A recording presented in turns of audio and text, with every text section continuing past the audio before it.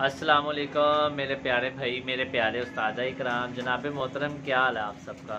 उम्मीद है कि खैर वाफिया से होंगे। आपका भाई मूसा नाजी लाहौर से आपको शो करवा रहा है। परिंदों का एक टैडी जोड़ा देख लें और एक ये कमगर नर देख लें। कमगर नर के साथ जनाब मैंने ये फीमेल डाली है, डब वाली और टैडी कबूतरों को क्रॉस में बनी हुई है।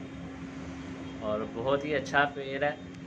तो इन ज़रूर बच्चे उड़ाएँगे, नए जोड़े दोनों लगाए।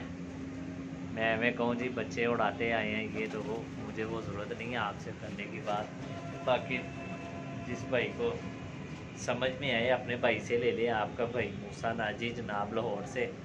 आपको शो करवा रहा हूँ ये मगर नर का और ये डब वाली और टैडी क्रॉस में फीमेल है। उसके बाद ये टैडी जोड़ा है। इनके पाँव में वाइट कलर की ये पड़ी हुई है। ये नर है। ये माता है जनाब?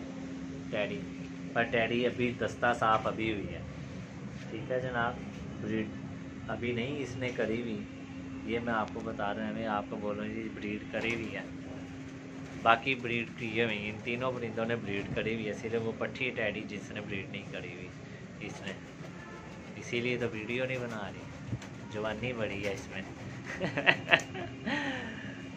ठीक है मेरी जान मुझे इजाज़त है इंशाल्लाह फिर मुलाकात होती है नए परिंदों के साथ। आपका भाई मूसा नाजी, इजाज़त चाहिए आपकी, आपके प्यार की गाँव में याद रखेगा ये कमगर नर जनाब, बहुत अच्छा कबूतर है और बहुत अच्छा कबूतर है, बस ये बोलूँगा। इसके दूसरी बात ये बताना चाहूँ, इसके कुंदे में थोड़ी सी प्रॉब्लम है।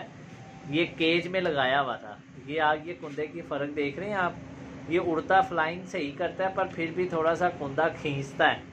तो इसीलिए मेरी जान जी, ये मैं बात आपसे करता चलूँ कि इसके कुंदे की थोड़ी सी प्रॉब्लम है, ताकि बाद में सोता आ जाए तो फिर गलत बयानी वाली जो बात है ना, वो ना रहे।